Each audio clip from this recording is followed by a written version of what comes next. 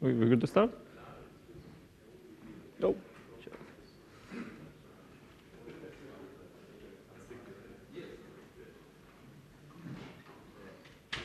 All right. Um, hey, everyone. My name is Michael.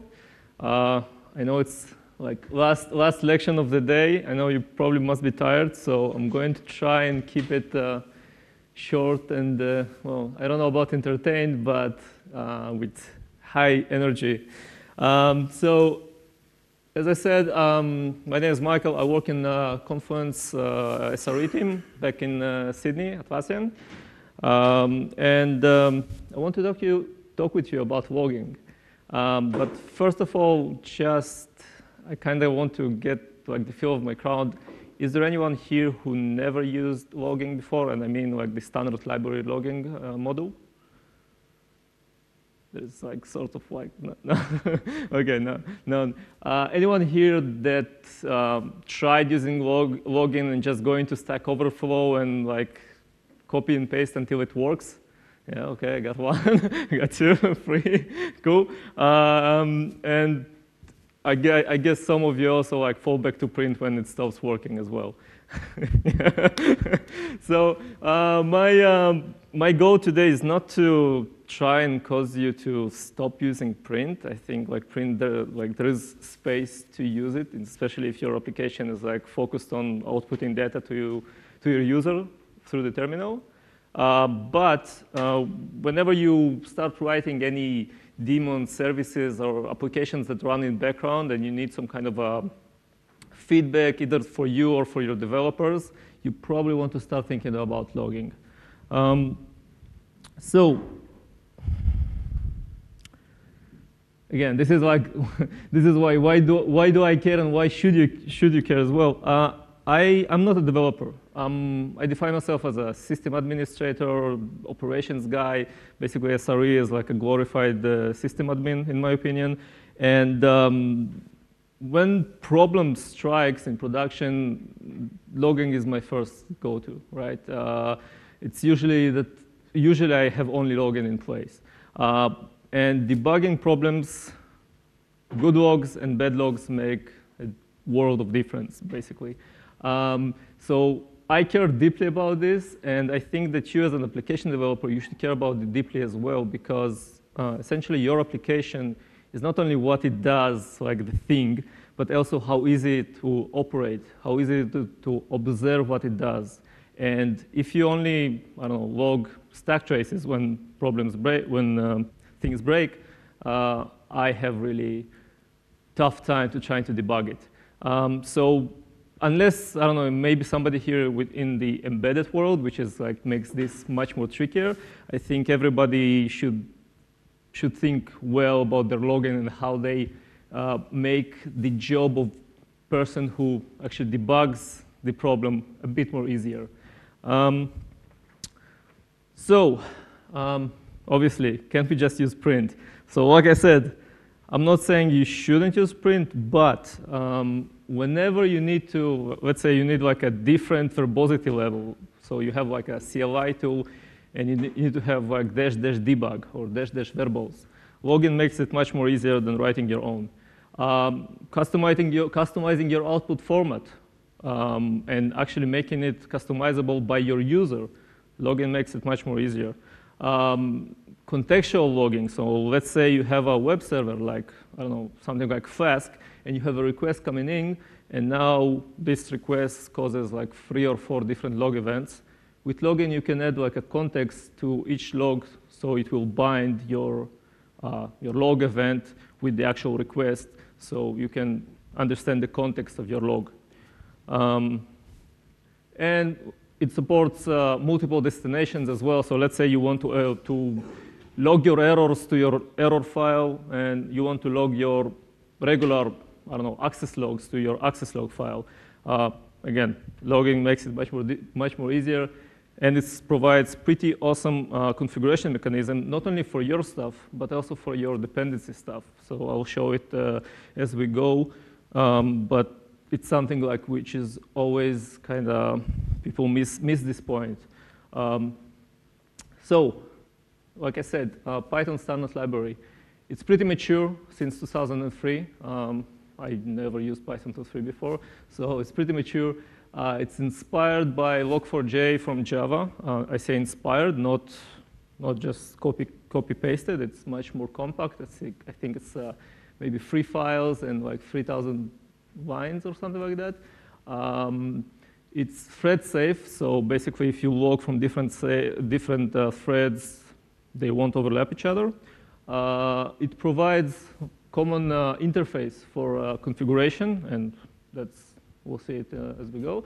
And often been blamed for being too complex, non-Pythonic, and a lot of Stack Overflow questions. Uh, why, why doesn't log? Why it logged twice? And so on and so forth. Um, so there's three parts. I'm going to talk about the basics, the I guess the just like the basic steps that you need to just start logging. And then I'm going to talk about uh, how do you log if your library or application have multiple models. And in the end, I'll also include uh, more advanced stuff that I think is like where is uh, logging really shines and presents itself. Uh, so everything starts with logger. Uh, when I say logger, I mean uh, logger object. Uh, you can think about loggers as those channels where you put your information in and in the end, they will uh, emit some kind of, uh, emit that information to some destination you define. Uh, and this is a simplified view of your, of your loggers. There is a, on the top, there is some kind of a basic level uh, filter, and there is a bunch of handlers that you can attach to it. Uh, all of those components are, um, are optional, so it's totally possible that the logger will be completely uh, naked without filter and without a handler. Um, and I'll, I'll, uh, I'll talk about what happens in that case a bit uh, further on. Um, so, oh, sorry, sorry about that. Okay, yeah. So this is a basic snippet of how you initialize logger and start logging. Um, just four lines, I guess. You import logging. You use the get logger call to get your logo, your channel. You give it a name. In my case, it's my app. Uh, you set some kind of a level to it and add a handler. And that's it, you're ready to log. So uh, Logger exposes uh, those, I guess, interfaces to login. There is a number of built-in levels, debug, info, warning, error, critical exception. And you can define your own, but I think it's very rare. I, I never actually saw anyone define their own.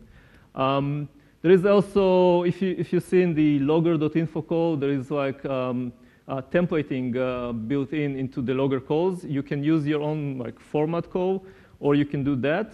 Um, this is a bit more optimized because the formatting will actually be done only if uh, if the level is uh, is just right. So you kind of you'll save few CPU cycles. Um, the levels themselves are thresholds. Okay, so they're not. So if you set your logger to be debug level, it doesn't mean that you it will only log debug. It means it will log debug and above. And like if you set it to uh, error, it means that it will only log error and above. So this is like one point that kind of um, uh, sometimes people um, uh, miss. Um, now handlers. Um, handlers are what, it's basically what makes uh, your, um, it, it, it, what emits your messages to different destinations. Um, and oh, by the way, I totally forgot. If you guys have any question, please raise your hand. Uh, you'll help me because uh, I totally forgot. Sorry, uh, nervous. So any question, keep like no problem at all. Um, so um, this is the handler. Um, again, it's a simplified view. Uh, I'm omitting few details. Handler have a level as, as well, just like a, just like a logger, but it's a completely ind independent level, okay? Uh, it has a formatter, which I'll explain above, uh, next, and it has some magic. This magic can be anything from writing stuff to a file, writing, uh, writing stuff over a network to your, uh, I don't know, uh, some syslog server, uh, sending emails, um, sending stuff to console, and so on. Um, so the, format, the formatters are what defines like the format of your output to that destination. So if you think about, okay, I'm going to, I'm going to write stuff to file, formatter, formatter is what actually will define that format of, of the information that will be emitted to file. So you can just, you can just define something like uh, some simple line format, or you can go crazy and maybe do stuff in JSON, for example, right? So formatters are the way where you're going to define how this information is going to be uh, serialized. Um, the formatter itself, um, if you can see, it uses, again, it uses a templating uh, um, format. Uh, and the, uh, the attributes that I use, that they are actually uh, attributes that um, exist in the uh, logger, uh, in the log object. So basically the log object is what created when you call your logger with .info, .error, uh, and so on. Uh, there are plenty of other attributes. I'm not going to show them, but everything uh, that I explained is in the docs, so you can take a peek. Uh, in my case, level name is your logging level. So if you do uh, logger.info, that will be info here. Uh, name is our logger name, so in my case it will be my app, and message is the message that we passed. Um, and also, if you don't define your formatter, there will be always a default one, which will be pretty ugly. Um, right, and Python comes with plenty of built-ins, uh, built-in handlers. Um, I'm going to just focus on those four. Uh, I think those are the most important one. Others, they, they do have, uh, in my opinion, they, they have a place, but uh, if your application is like, I don't know, running in, in real production environment, um, you probably already have some kind of a logging pipeline set up. You probably have some, I don't know, Logstash agent running or some log shipper that takes your files and ships them to some place else. And you don't really want to slow down your app with rotating files or sending emails, probably not sending emails. Um, so in my case, in our case, stream handler is basically for your console, standard, standard error, standard out, file handler for writing to fi files. Null handler is a special handler which just drops everything, and we'll see why it's important. And I'll mention queue handler and queue listener in the end. Um, so with that knowledge, I guess, in mind, uh, we are ready to, I guess, use mul multiple handlers. And it's, it's a bit a long example, but there is really nothing to it. It's just like I doubled everything. We still have one logger in, in the beginning. Uh, we we have two handlers. So we have a file, and we have a stream handler, which will log to our uh, standard output. We have some kind of a basic uh, formatter, which I use in both handlers. And then I set, I set levels. But if you notice, I set my levels, um, I set my logger level as debug, but my handler level as error, right? And then I just add, add both of those handlers to, to my logger. So what happens here is that my console will get all of my info, all of my messages, but only my file, my errors.log, will get my errors messages. And this is already kind of kind of cool because now you can you can you can have your errors log and when you when you need to like your your user reports to you, hey, I got a problem, ask him to send you to send errors log, for example, if your error, errors are very are very useful in that, uh, of course. Um, so very very easy to implement. If you're going to try to implement it without logging, probably will take some try and effort. Um, so that's, that's basic, basically it. This is the basic part. Um, second part of it is, yo, yeah. Sorry, yeah, of course. Yeah, yeah, yeah, yeah, it's good, good, yeah. Um, so you've got your logger um, set level debug. Say on your standard out, your streaming handler, yeah. you set that to info. Yeah. And your logger you set to debug. Yeah.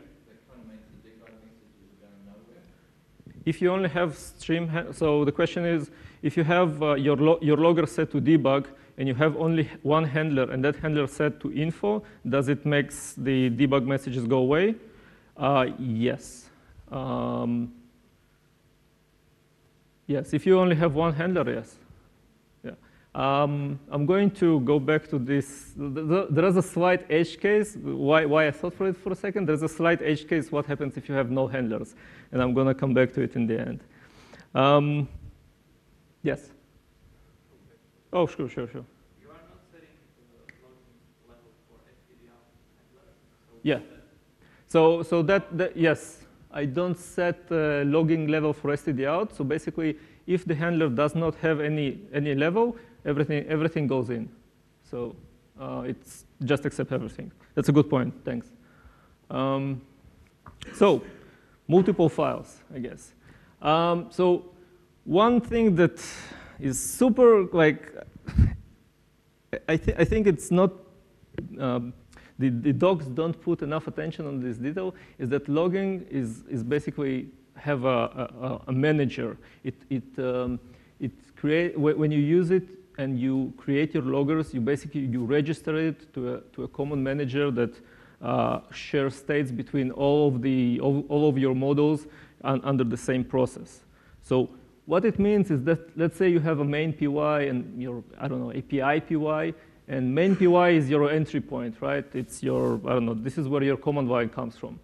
If you define your loggers in main PY, and then you're going to call get logger from some other file with the same name, you'll get the same object, okay? Um, so you don't need to pass loggers between, uh, between your models. You can just call it like this, right? So this is one point that we need to keep in mind as we go forward. Uh, but yeah, uh, just if you take anything from my, my presentation, I guess take this. Um, logger hier hierarchy. So we can easily replicate our, uh, our model structure by using this uh, common pattern. This is, this is what is recommended in the documentation. So dunder name, uh, and you'll get if, if you do logger, get logger dunder name in every model of your library, you'll get basically a nice structure where every logger actually, um, I guess, um, goes together. So basically, we'll get something like this, right? So this is the, uh, the, the, blue boxes are our loggers, and uh, we have our files, uh, and we're going to replicate our package. Um, this is not only for uh, for aesthetics, there is actually some power behind it. But before I go into this, one small caveat that you need to remember. Um, dunder name can be dunder, dunder name can be equals dunder main if your, uh, if, if your file is your entry point. Keep that in mind because sometimes you suddenly, like, you will change how you execute so, uh, your program. So for example, we saw a nice, uh, nice presentation about entry points. Uh, when you will use entry points, everything will work just fine because name will be actually your model. But if you if you're going to um, if you're going to call your program with just Python and your model name, this will change to main, and suddenly you won't see your logs. Okay, so keep that in mind. If you use this uh, um, this pattern, uh, your logs suddenly can just go away and like what's going on. Uh, this so this is the reason. Um, so like I said, this is our structure. It's so nice and cool. What this structure actually allows us is to um, a feature called prop propagation. Okay, so basically what happens is if we have our myapp.cli logger and we do and we submit submit some kind of message to it, um, this message is actually going to traverse the entire tree of the loggers. Okay. Um, it's a, it's, a, it's a nice feature, but it will probably be responsible for, I don't know, maybe 60% of the question on Stack Overflow. And the reason is because a lot of times uh, we set handlers on multiple loggers in the, in the tree, in the propagation tree.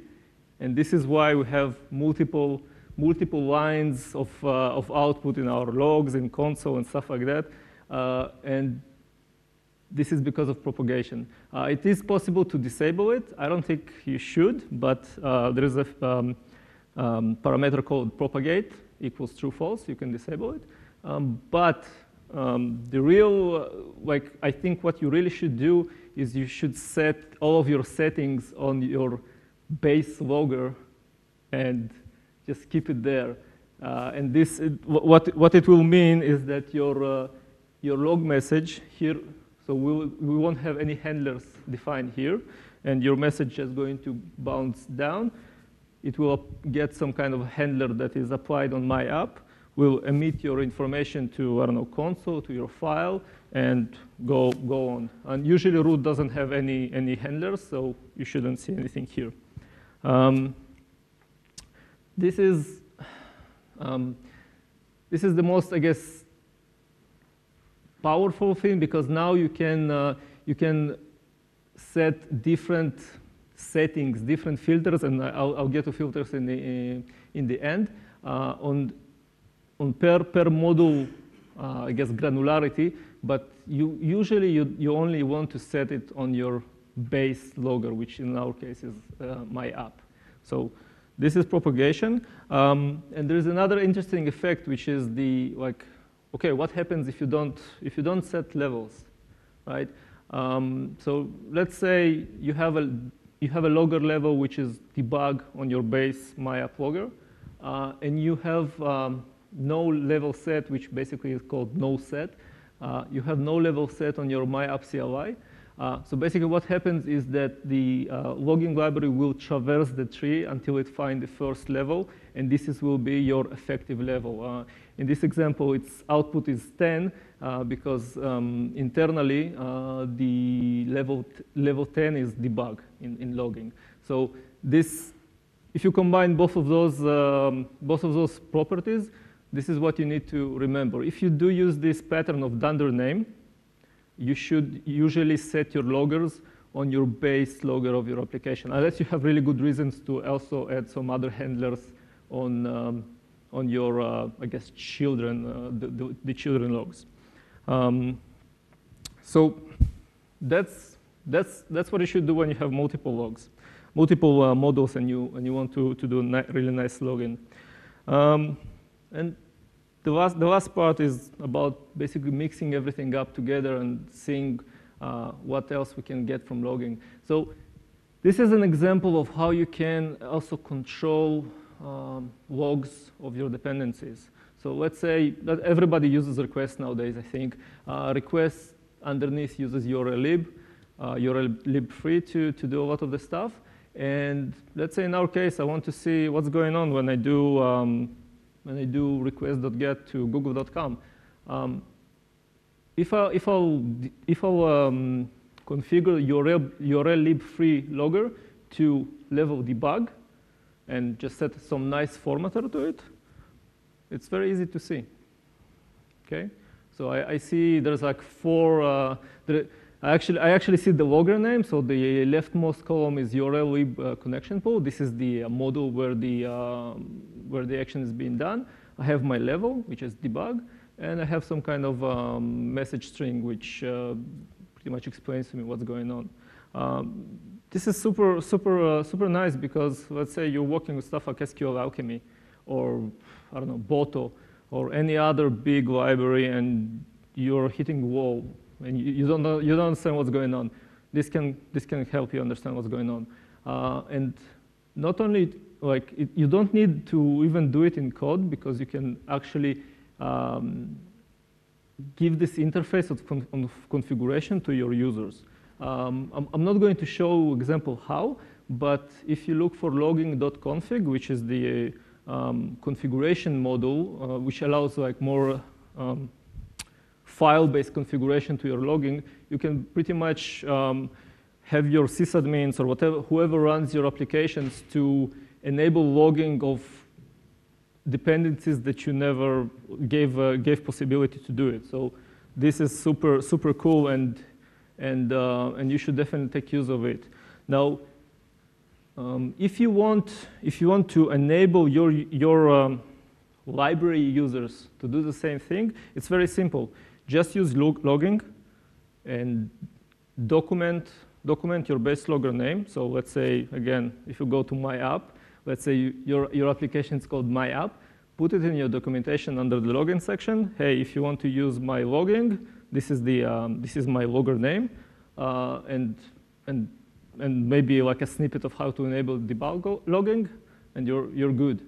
Um, the other thing that you should definitely do is to attach this special null handler to your um, base logger. Um, the reason that you should do it is because Python has, uh, the logging uh, module has a very special, um, special behavior when it comes to what happens is there is no handler set at all, okay? Uh, it, it changes between Python 2 and 3, and oh, by the way, I totally forgot. Uh, this, all, all the examples here are Python 3. Uh, Python 2 is kind of dead to me, but it's not, it's not, uh, there's no, there's no breaking, breaking um, compatibility change, just 3 is a bit more nicer to use, but everything I did you can adjust to Python 2. Uh, so what happens if uh, there is no handler set at all and you're trying to log, will, will change. In Python 2, you will get this cryptic message saying, no handler set, blah, blah, blah, blah. And in Python 3, there's two, two options. If, you, if, you, if your log message is um, info or debug, you just won't see it. And in, um, if it's warning or above, you'll see it in, in um, in your, uh, in your uh, standard error uh, with just the default formatter. Um, so if you're a library author and you want to give the, um, the power of like set, setting loggers and seeing your, seeing your internal debug logging, make sure you always set null handler on your base, base, base logger and obviously you shouldn't like you shouldn't enforce anything else. Like don't try to log on default because they're just not they're just not nice. Um, so and last last thing I want to talk to you about is uh, filters. Filters are a bit of a confusing term because they are much more powerful powerful than just filtering. Um, filters are available in both handlers and loggers, and uh, they basically they have two options. Either they allow you to create a more fine-grained uh, logging. So let's say you want, uh, let's say you want to have debug and info log messages in standard standard out, and warning and above in your standard error. With with the current tools, you can't do that because you basically because it's threshold-based system, you will your uh, your uh, standard out will include both errors and, and uh, the regular messages. So filter allows you to, to create those kind of rules. And also they, because the way they work, they actually receive the entire log record so they can manipulate it. So here's the actual how logger and handler look. So we also have this another layer of filters. So it can be one or it can be a couple. And the same thing for handlers. Um, and here's a quick, like, simple filter, right? It's, it can be a callable. It gets the record. Uh, and in, in our case, basically this filter, if you attach it to your uh, logger or handler, it will pretty much just drop everything but info messages. But the more important, like the more nicer use case is, I guess, this. And I'm sorry, like, I tried to bring better example, but this is what I had in mind. I had to share it. Uh, if anyone here uses Flask, Okay, five, six people, cool. Uh, so Flask has the concept of um, context, request context. Uh, basically, you can store variables in the context which uh, um, connected to the same request, incoming request. So using this functionality uh, and using logging, you can, you can do basic contextual logging. Uh, so in, in my case, um, we just check, are we in a Flask uh, context uh, block? So basically, do we, have, do we have context? If we do, we try to get uh, request ID from the context. Okay? If there is, great. If there is no, we generated one, we generate one and we store it in the context. And in the end, the most like, important part is we store the, the request ID inside of the record. Okay?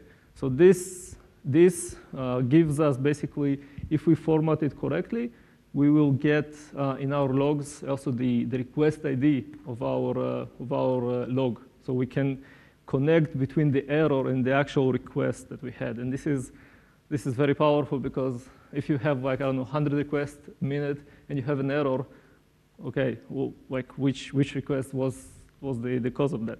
Um, so this is, this is the coolness of filters. Um, do I have few more minutes? I guess I, I, am already like 30 minutes now, so yeah. So I, I need just like two more minutes, I guess. Uh, just few few words on uh, performance. Um, there is this nice method called isEnabledFor. Uh, use it if you have some kind of an expensive logging. Uh, so let's say this expensive function will take, I don't know, five seconds, uh, and you only want it in debug. This is the tool you should probably, like, this is the gate you should use to, to stop it from uh, do this expensive commutation. Um, don't try and create logger for, I don't know, every request or some unbounded, unbounded number of, of, of things like, I don't know, logger for every user or logger for every request or something like this because they are stored in this, gen, in this global state. They won't ever be garbage collected because of that. So you just run out of memory.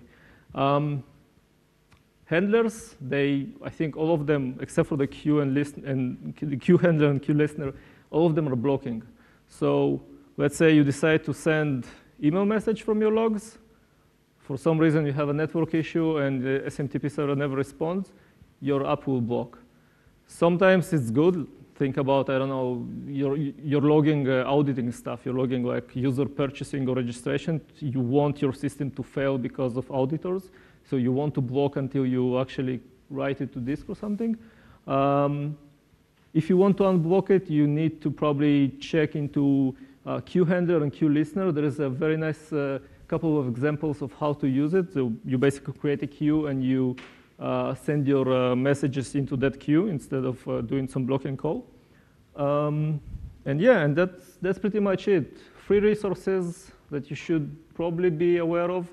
Uh, the last two, the, this is like the Python, Python docs, they got much, much better in the last few, I don't know, years, I guess, but it's, it's worth taking a look, especially the, the cookbook and the tutorials. Um, the first one is actually the, the blog of uh, Vinay Sajip. I hope I say his name correctly. He's the creator of logging. He got some really good logging blog posts about like decisions behind why they made stuff this and that and, and, and that. And if you're curious, you should definitely check it. And yeah, that's it. I'm, I think I'm done. You guys got any questions? Yeah.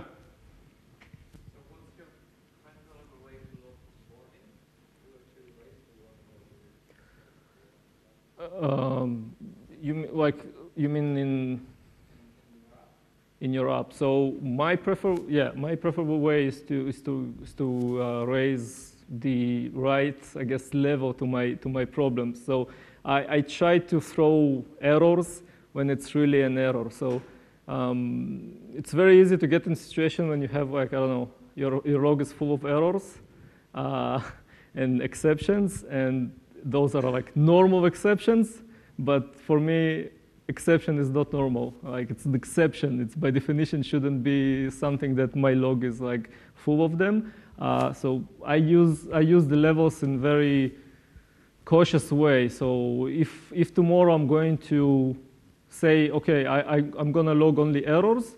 I, I, want, I really want my, my logs to be clean of them. Okay, so I don't, I don't run production in debug mode for that say. Okay, so debug mode for me is for de development, local development, and I don't know, warning and above or, or critical, or sorry, error and above is for, uh, for prod. Is that uh, answers your question?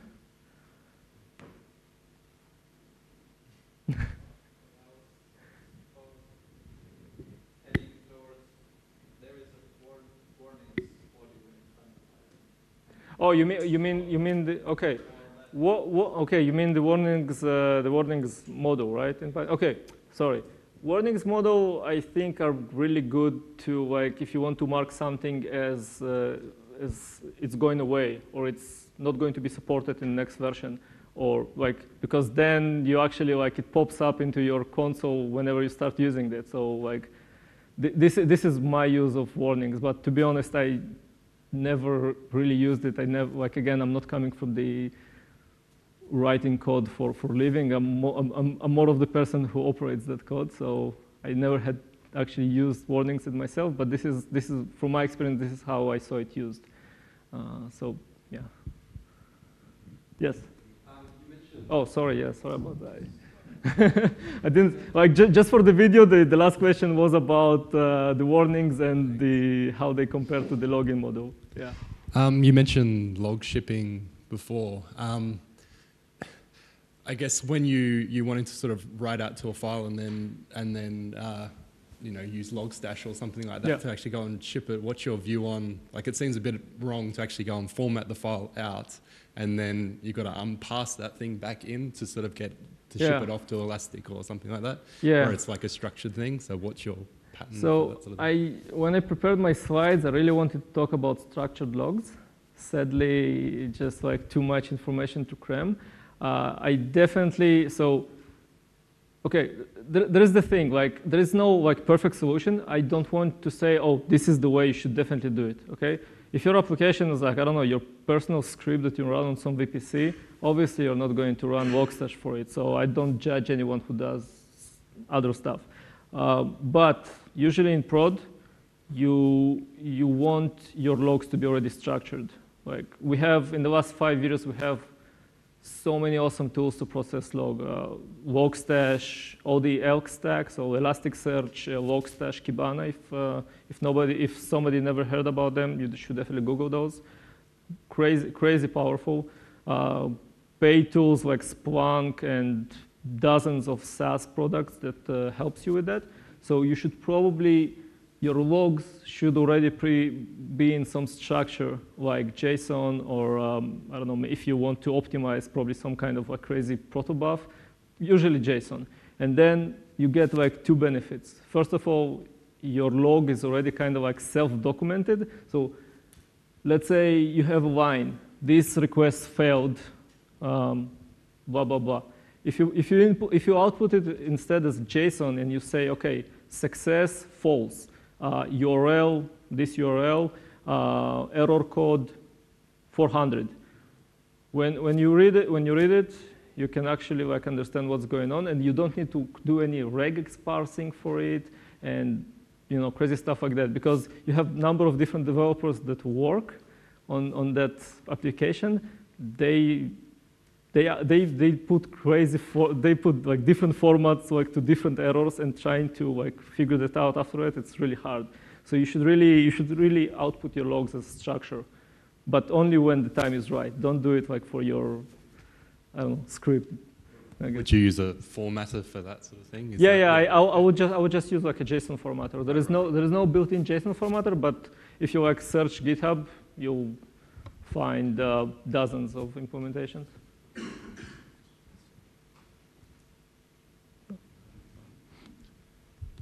This is more of a comment than a question, but um, you can also, because the Python logger is global, you can actually, um, on one of our applications, we set up an admin panel where you could actually, it parsed through the loggers and you could actually change the logging level dynamically as it was running so that if Yeah. you were having a particular issue, you could actually switch on debugging for particular parts of the application.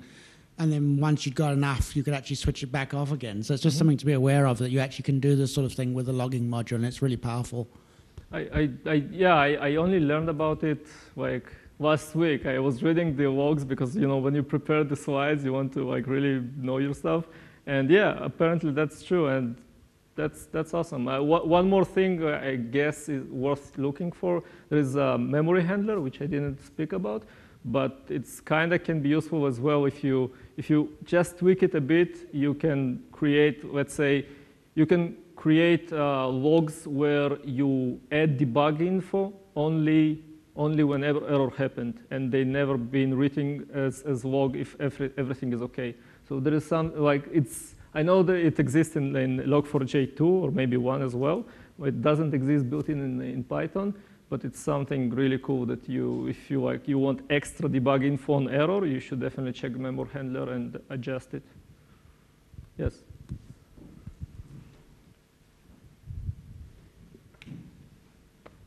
So, just asking about the file handler in um, past lives, using Log4j and that kind of thing.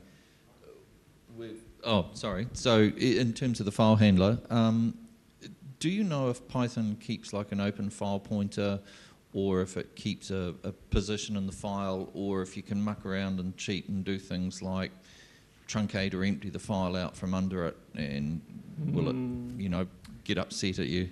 I have no idea. Okay. Sorry. you got me. so maybe just uh, to expand on that, then, if if because you said it's better to use the file handler rather than the rotating file handler because they block and performance. yeah, I just don't want to risk it, right? I mean, Yeah. So how do you manage the size of that?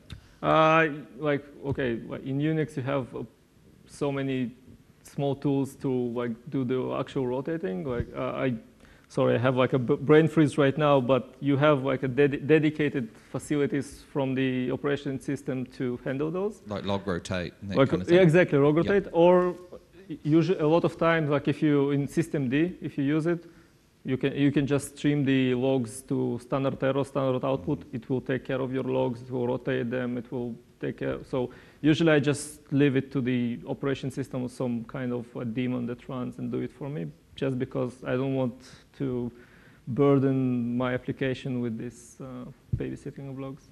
Cool. No worries.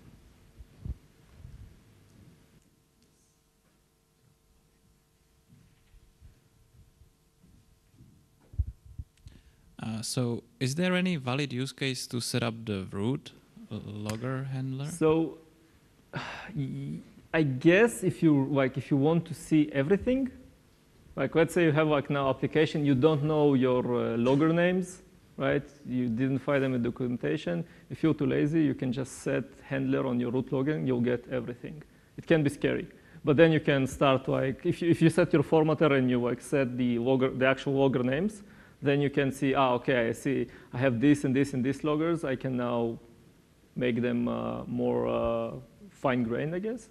So I, I think this uh, valid use case. Another valid use case, uh, usually to, to, to deal with some kind of uh, misconfigurations, I think. So if you, if you have a library that didn't configure null handler, and they now they have like let's say critical errors, critical logs, and you want to stop them and you don't know what is the like logger, you can just go to the root handler and just kill everything, right? This is another, but usually um, I don't I don't see a reason, uh, uh, except maybe if you have like a basic, very basic application, and you don't want to deal with all this madness, you just want to start logging, you can just start using root without like without giving names, without anything, and this is another valid case, I guess. So it's it's it's really I don't think there is like a the right way. It just depends on your case, case by case, I guess.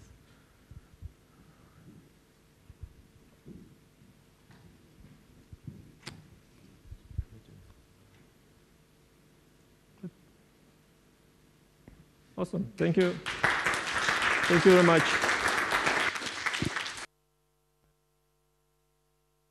Request from you guys if like if I if you have any feedback, please like tell me good stuff and especially the bad stuff because like this is what helps me uh, get better. So thanks.